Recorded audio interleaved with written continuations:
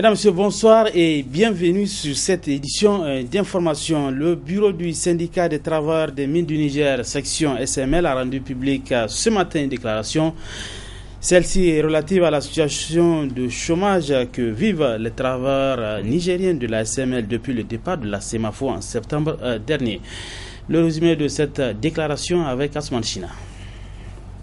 C'est le 30 septembre 2013 que la SEMAFO, actionnaire principal de la société des mines de l'Eptaco, s'est retirée de la dette société. L'État nigérien a repris les 80% des actions cédées par la SEMAFO. Mais depuis le 1er octobre, les travailleurs nigériens de la SML sont en chômage car les travaux n'ont toujours pas encore repris. De cette déclaration rendue publique ce matin. Depuis l'arrêt des activités de production de la mine de Samira, les travailleurs attendent impatiemment le redémarrage des activités et de la reprise de la production. Les travailleurs de Samira Hill apportent leur soutien ferme et sans condition pour les démarches entreprises par l'État du Niger à travers la SOPAMINE en vue du rachat des actifs de Semafo dans SML. Nous saluons et encourageons les actions entreprises par Sopamine dans le cadre de la sauvegarde des intérêts de l'État du Niger et dans le respect des engagements pris envers les travailleurs nigériens de SML. Les travailleurs s'engagent à mobiliser toute leur énergie et à initier les actions positives contribuant à une reprise rapide de la production sur la mine de Samira. À travers cette déclaration, les travailleurs de la SML ont réaffirmé leur confiance à la SOPAMINE et leur adhésion à toute œuvre d'intérêt national. Au plan politique, vous le savez déjà, le Premier ministre chef du gouvernement Brigitte Raffini a bénéficié samedi dernier du soutien de la représentation nationale avec 43 voix contre et 70 pour le PDS. À ce propos, je propose de suivre les réactions de quelques citoyens qui apprécient diversement donc cette motion de confiance. On les écoute on ne peut quand même que se glorifier parce que imagine si la motion de, de confiance n'avait pas passé. Et il y aurait, après d'autres tapages médiatiques qui vont censurer ça. C'est vraiment pas bon pour, pour un régime qu'on appelle ça comme le nôtre qui a subi pas mal de, de, polémiques qui sont passées bien sûr dans les, dans la semaine passée. On parlait d'une motion de censure éventuelle qui pouvait venir, mais bon, Vraiment, c'est quelque chose de bon. On peut dire que c'est un plus quand même, une avancée quand même pour, euh, pour ce gouvernement et pour le Niger entier. Nous, on veut travailler. De babarder, babarder là, ça, vraiment, c'est. Ça, ça, vraiment, on ne veut pas ça. Donc, on veut quelqu'un qui travaille. Il y a beaucoup de choses devant lui, qui n'a qu'à voir notre population, ce qu'il y a, il n'a qu'à faire. Vraiment. On souhaite ça et bonne chance. Il a eu le soutien de 70 députés sur les 113. C'est déjà une bonne chose. Et maintenant, ce que nous nous demandons au gouvernement, c'est de mettre tout à l'œuvre pour que ce programme puisse exécuter au profit des populations du Niger. Parce que si c'est pour attendre l'approbation du Parlement qui représente le peuple nigérien pour travailler, ils ont maintenant le soutien de la majorité des députés. Donc maintenant la balle est dans le camp du gouvernement. Le Premier ministre et son gouvernement doivent donc faire le nécessaire pour que ce programme puisse vraiment bénéficier euh, au peuple nigérien. Il faut que les Nigériens, au terme de ce programme, puissent vraiment sentir de manière concrète les résultats de ce programme qui a eu le soutien de la majorité des députés. Vraiment, le gouvernement maintenant doit tout mettre en œuvre pour que réellement les Nigériens puissent vraiment sentir de manière concrète les résultats de... Ce conseil de ville de Niamey qui a un nouveau président, il s'appelle Hassan Seydou du parti Modern FA Lumana. Il a été élu cet après-midi avec 27 voix pour contre 17 pour son rival Hassoumi Haruna. Je propose de suivre donc la réaction du nouveau patron euh, de la ville de Niamey. Je suis bien entendu très ému par cette marque d'estime que vous venez de, porter. Et les mots me manquent pour vous exprimer ma gratitude, ma reconnaissance et mes remerciements très sincères à chacune et à chacun de vous. Je ne vais pas faire euh, du programme ce soir. Mon propos aujourd'hui, c'est de remercier les uns et les autres, ceux qui ont voté pour moi, et même ceux qui n'ont pas voté pour moi, parce que de toute façon, le conseil de ville, on a eu l'habitude, c'est une famille, nous œuvrons tous pour le bien de cette ville. Et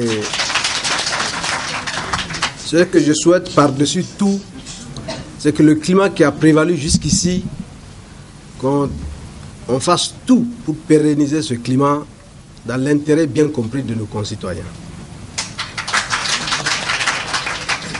Nous, devons ainsi donc constituer un bloc homogène et nous dresser comme un seul homme pour faire face aux grands défis qui se posent à notre chère ville. Face à tous ces défis, donc, la ville de Niamey nécessite un programme d'action qui doit s'articuler autour des points que je vais énumérer, tous points donc qui s'inscrivent dans la dynamique du programme général Niamey Niala de son Excellence le Président de la République, M. Issouf Mohamed. Et on constate, quand on circule à Niamey, que les problèmes sont immenses. Les questions de salubrité, par exemple, urbain et l'assainissement de la ville. Malgré tous les efforts réalisés par nos prédécesseurs, la ville de Niamey connaît de réels problèmes d'ordure ménagère. Nos premières actions, en tout cas visibles, se pencheront d'abord sur les voies et moyens pour organiser la précollecte, le stockage et l'enlèvement de ces ordures.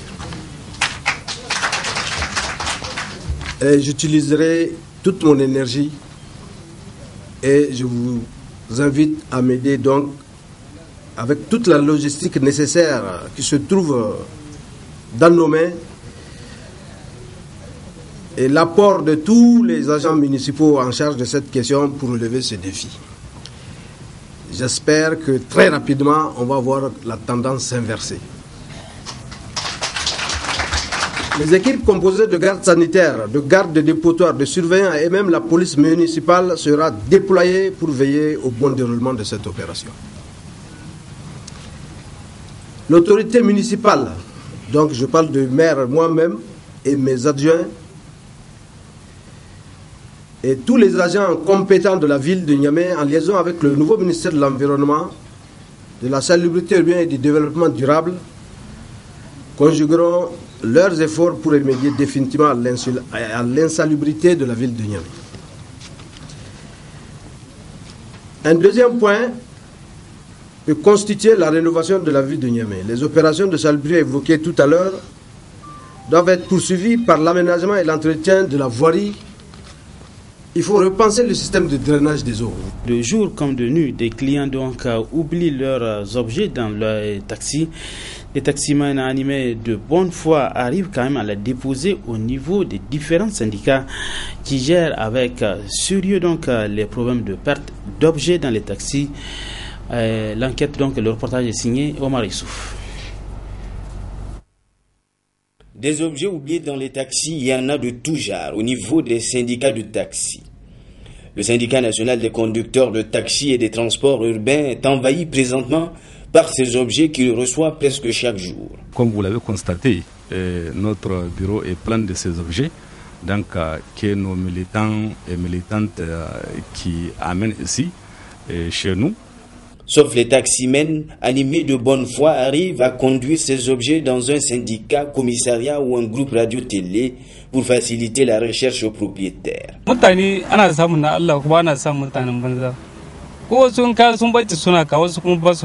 Il faut le dire, il y en a parmi nous qui gardent l'objet, et c'est déplorable. Ce n'est pas pour me vanter d'être pieux. Moi, je ne peux pas garder quelque chose qui ne m'appartient pas.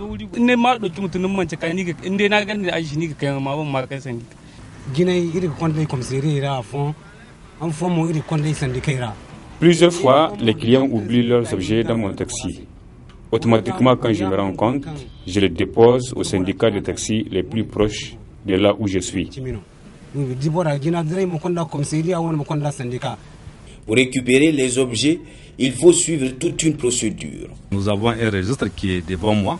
Quand un client et quand un militant amène les objets, donc dans un premier des choses, nous lui demandons d'ouvrir pour savoir qu'est-ce qui est dedans. Et là, quand on est invité et vérifier tout ce qui est dedans, on mentionne sur les registres. Quand on mentionne sur les on prend les numéros de son de son de, de, ces, de ces véhicules. Et quand un client vient faire une déclaration en disant qu'il a oublié ses objets dans un taxi, et donc nous lui demandons c'est quand? C'est dit, c'est aujourd'hui, ou bien c'est hier, ou bien avant-hier, on lui dit est-ce que tu as, tu as pu retenir les, numéros Si il dit que oui, donc rapidement, là, on regarde sur les registres si c'est ça. Donc on vérifie, on les demande c'est quoi et quoi dans les, dans les, dans les objets. Donc d'ici, c'est correspondant avec ce que nous, nous avons mentionné. Là, on les demande maintenant d'amener son eh, carte d'identité. L'enregistrement des numéros de portière d'un taxi avant de rentrer à bord est toujours souhaitable. Cela peut aider à facilement retrouver les objets en cas d'oubli. Fin de cette édition d'information. Merci à vous de l'avoir suivi. Restez toujours en compagnie des programmes de la télévision Labari. Bonsoir.